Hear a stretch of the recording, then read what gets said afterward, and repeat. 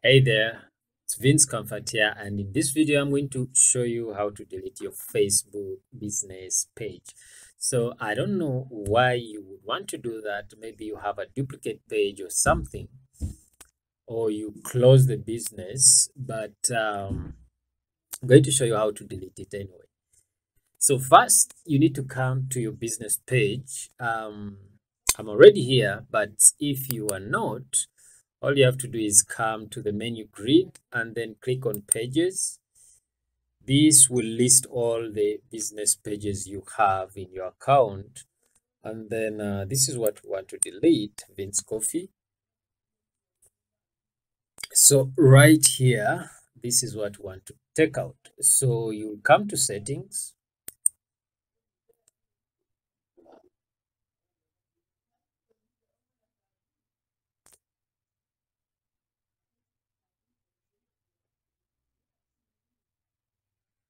Then once at settings and privacy, just scroll down to your information and then you have access and control. Click on it.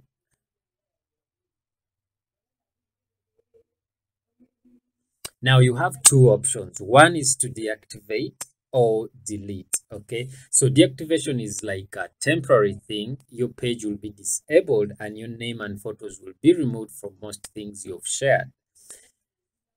So if you want to bring it back in future, yes, you can. But then there's the option of delete. So this is permanent. You won't be able to retrieve the content or information you've shared on Facebook as this page. Your messenger and all of your messages will also be deleted. So if you wanted to delete, this is what we'll choose. And then you go ahead and click continue. So if you wanted to download it, you can download or you can transfer the information you have here to another uh, page. So let's say if you wanted to transfer the info. Okay, so since we didn't share, we didn't do much with the account yet, it won't give us any option. But uh, I'm sure you get the idea here. So once that's done, just click on continue and then it will ask you to confirm with your password. You enter it and then go ahead and continue. Okay? So i have the wrong password here but uh, just go ahead enter your password and then click on continue.